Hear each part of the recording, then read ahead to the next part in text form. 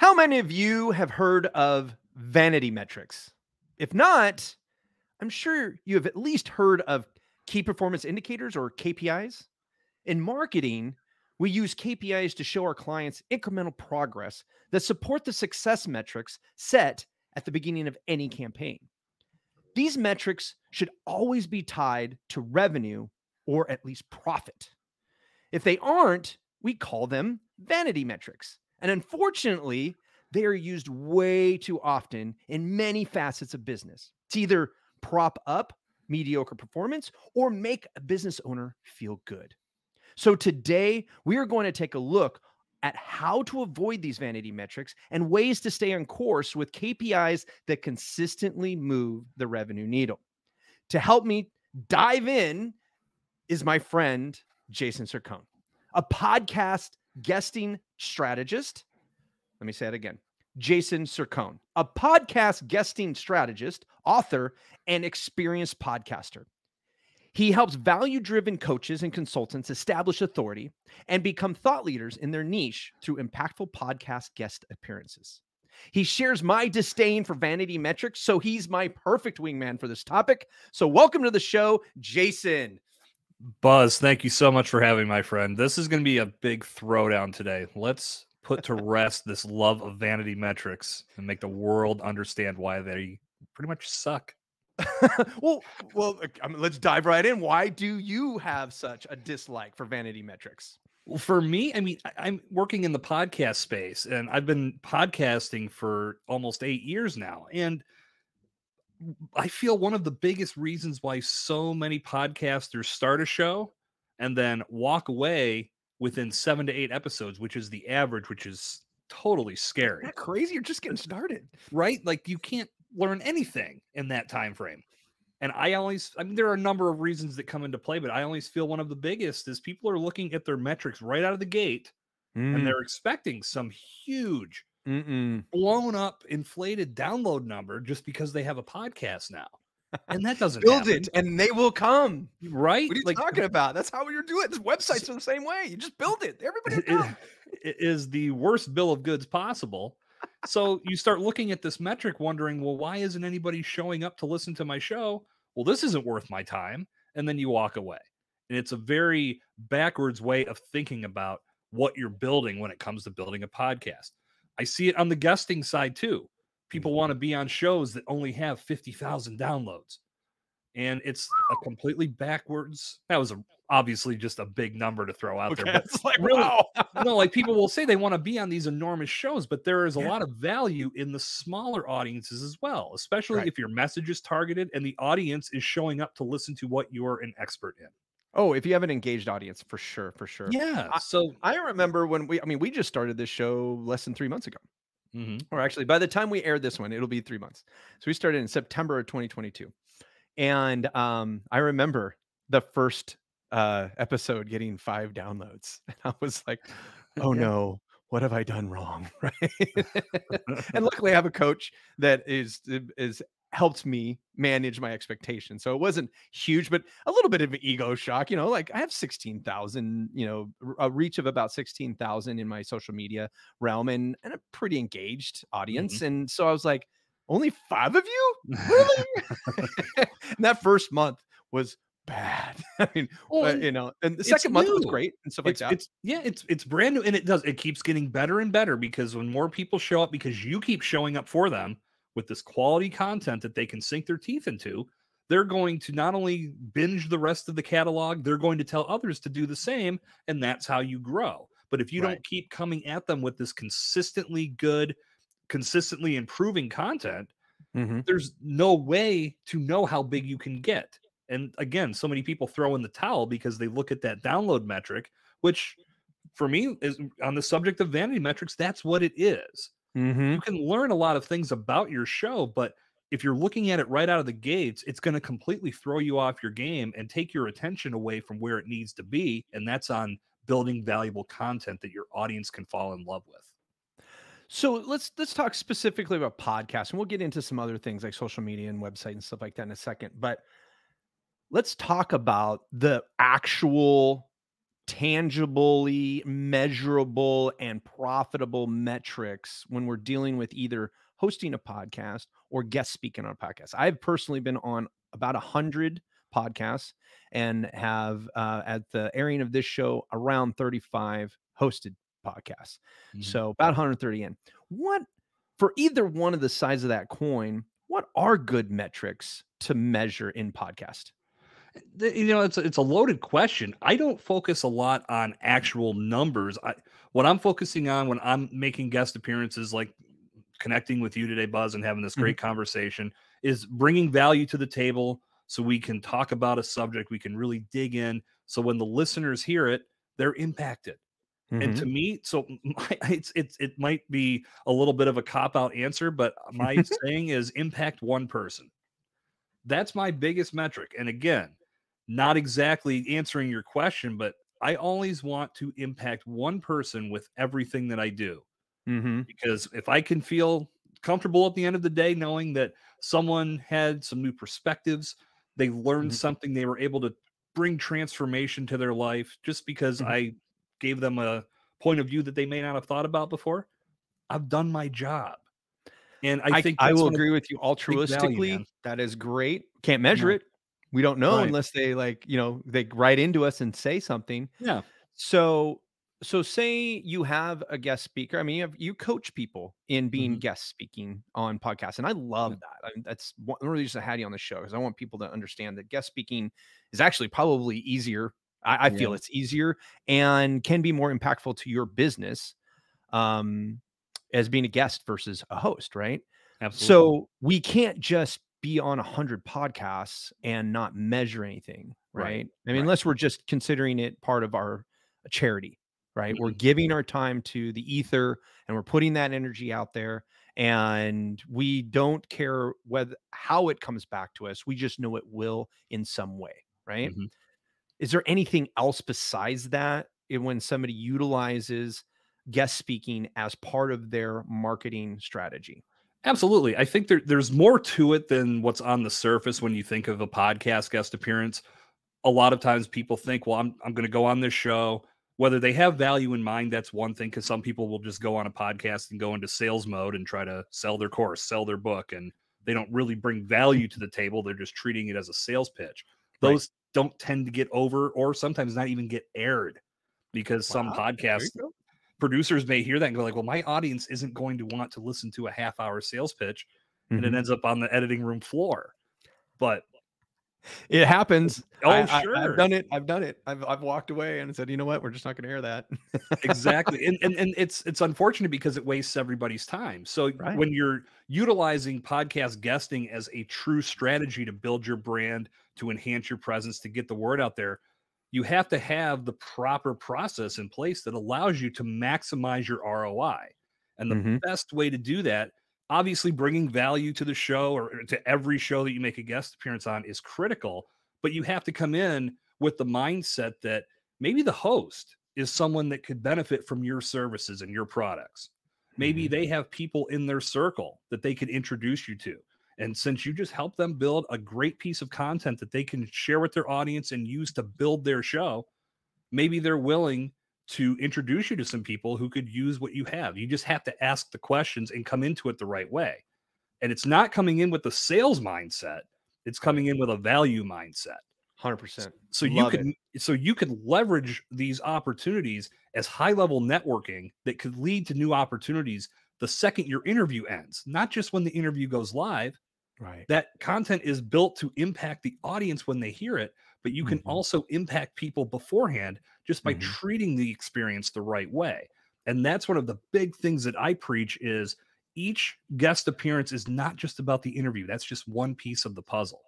You need to show up with value in mind, be an asset to that podcaster, respect what they want to accomplish because they're looking to grow their audience and they need powerful content to do that.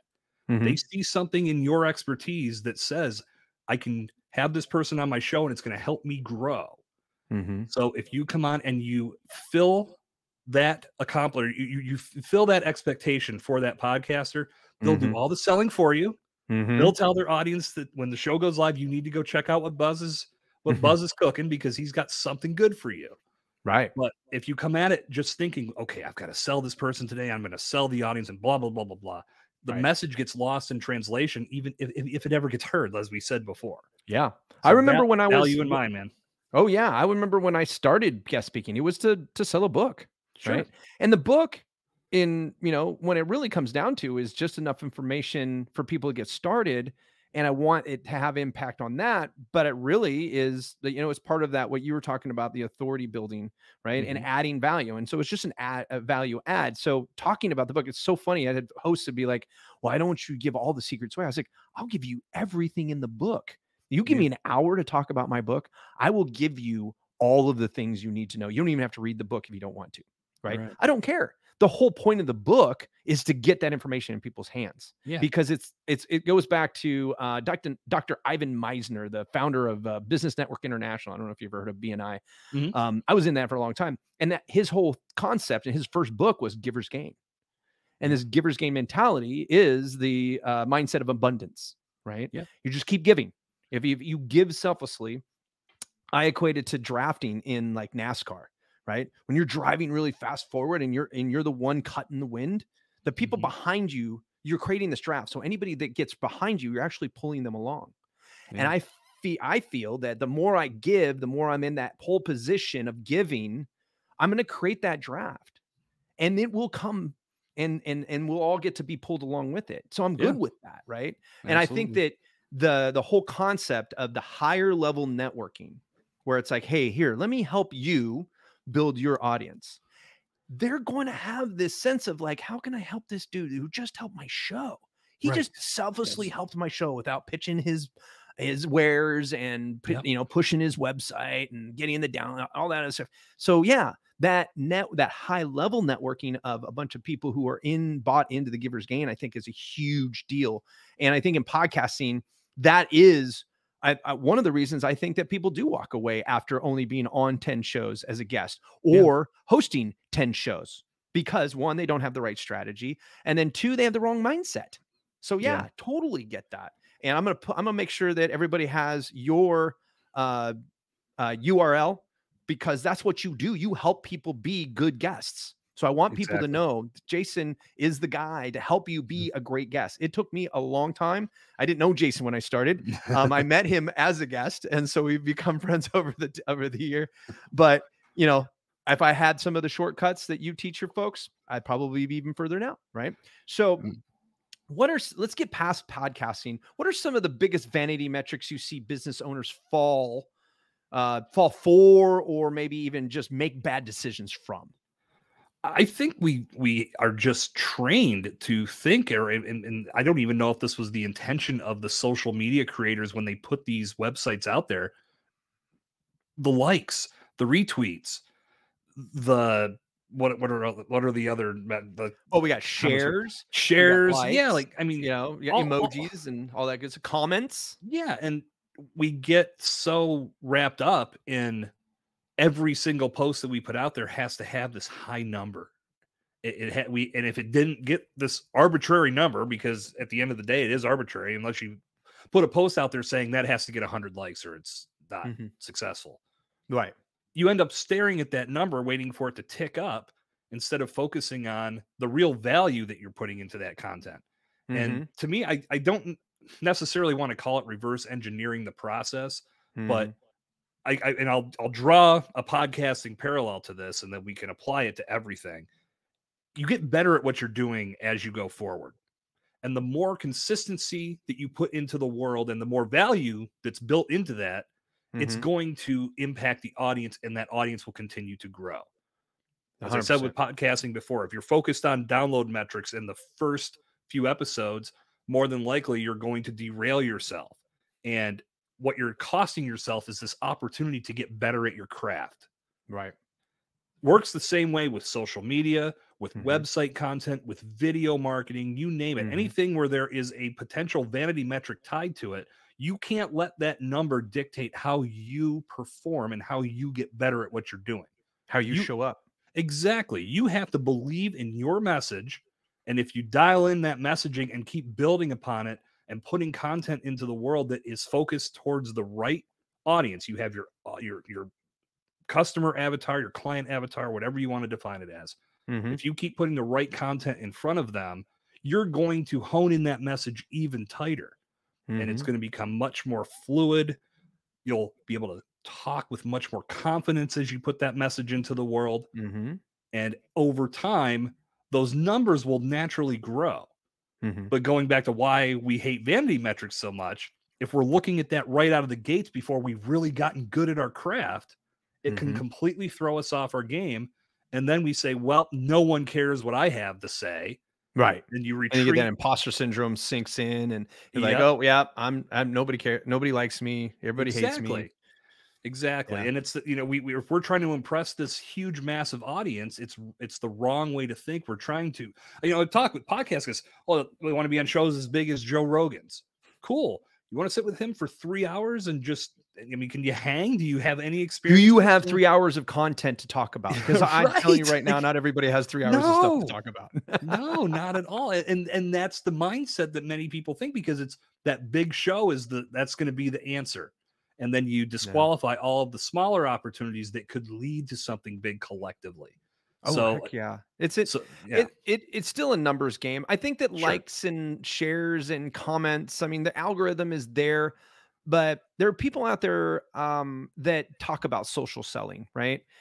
You at the end of the day, a like does not drive your revenue needle. Period. End of story. So when you, we talk Right. about social media, we've got to stop looking at how many people like things, right? mhm, and even some of the social media consultants out there um, god bless you you use those because they are early indicators of success but if you have say a thousand likes on a post and nobody is doing anything to like dm you or maybe um you know reach out to you through your website or anything like that guess what it's a waste of time it's a blip Exactly. in the universe and you have really done nothing to exactly. to advance humanity, your business, your livelihood, or anybody Exactly else. Right? right. Like you really haven't done all that much, right? Yep, now, yep. if it's something that people appreciate because you're giving something to the universe as far as content goes and it's free and you got a bunch of likes, that that's still a vanity metric, people. That's making you feel good about giving Mhm, right? When we give and we don't know what it felt feels like for the person getting it, that's selflessly giving, Yeah. right? So, like we just adopted for Christmas this year, we adopted five foster children for and basically for their gifts. We bought them gifts for Christmas. They have their wish list and all the other stuff, and we went shopping. mhm. We have no idea except how old they were and what gender they were, who they are, where they're at, or anything like that. We just know they got these gifts that they wouldn't normally get anything if people like us didn't do it. Right. So the only metric we have is how good it felt to to wrap those presents and give it to the foster home so that those kids can get it. That's it. Yeah. Right. There are no like how many yays they got every time they unwrapped one of the boxes or anything like that. That is how you have to approach all of these things social media, podcasting, websites. One mhm. thing that we didn't talk about yeah, uh, is websites. People think traffic Mhm. is the metric. Traffic is a KPI. The metric is conversions. And people who listen to the show know that what I'm talking about. It's when people reach out to you in a profitable way, meaning that not just grabbing a free download. That's a KPI. That's a that's an indicator of performance. But the mm-hmm. metric you're you're actually measuring is when they convert to being an active prospect. And then Right. from there, closing business and moving that revenue needle. Right. So, hmm. I mean, we could probably go on all day doing this right here. So, what are the main KPIs and success metrics? Let's just let's focus on podcasting because that's that's where your wheelhouse is. What metrics should the audience start paying attention to? Now, I take that back. I apologize. What, beyond podcasting in business, what are the main KPIs and success metrics that the audience should start paying attention to, and how can we track them? Well, I would say, you know, it, it- it's not exactly speaking to a number. In a way, it is, and you can easily track this. I can I do it with a spreadsheet. How many powerful conversations that could lead to that conversion that you spoke of a second ago, Buzz? How many powerful conversations are you having per day? And this again, it's arbitrary. You can set this to whatever you want. If you want to just have one, cool. My goal today is to have five. I want to have five meaningful, impactful conversations that could lead to a potential sale, to a potential new person investing in what I have to offer. It's a little bit woo woo, but it is trackable and it's probably going to do much more for your efforts and your long term growth to have these powerful conversations. Now, and as I'm saying, you could do this one on one over the phone, through Zoom, as a podcast guest, as a podcaster, bringing great people on. You're having good conversations if you're doing it right. If you if you focus on that, I guarantee you, you'll get more from a results standpoint than just putting out a piece of social media content that may get a handful of likes. And again, going back to what we said before, if we're focusing on the likes and the retweets and all of these different things, if they don't produce anything because of that, Mhm. all we're just doing is i- i- we're creating good content for the world. Yes. And everybody can wrap that in a big bear hug and love the hell out of it. But if it isn't converting at the end of the day, it's Mm. missing the mark. Mhm. So these powerful conversations that you can have in a number of different settings are going to lead to much more for you. And they're going to make you more confident in everything you're doing too. So you can take that confidence that you're getting from one conversation, maybe apply it to your social media content. Changes your voice to some degree. I think there's more value in having a few powerful, meaningful conversations each day than just by trying to put out a social media post that you think might go viral, right? That's what everybody wants. Make it go viral and everything changes. No, that post went viral. Maybe it leads to something in the short term, but long term, it's all in the conversations you have. And it's all in how you make those relationships with people work for you and work with you. There's a lot built into that. And I will throw a big challenge out there for the podcasters listening to our conversation. If you're starting a new podcast or if you're in the middle of one, it could be at any point. Don't look at your metrics for six months. A lot of people can't go six minutes. So go six months without looking at your metrics and instead focus on consistently putting valuable content in front of your audience. I guarantee when you go back and look at that number, of course, it's going to grow because you have more content out there but it's going to be a different mindset and a different approach for you because you won't be focused on that number slowly ticking up. It's valuable content in front of the right people. And when that content is something they feel they can gravitate to, they know it's going to be there for them every single time a new episode goes live. That's when they start telling their friends and their family and their colleagues, listen to that podcast. Don't go six months. That's my challenge to everyone. Great. And that's the show. All right.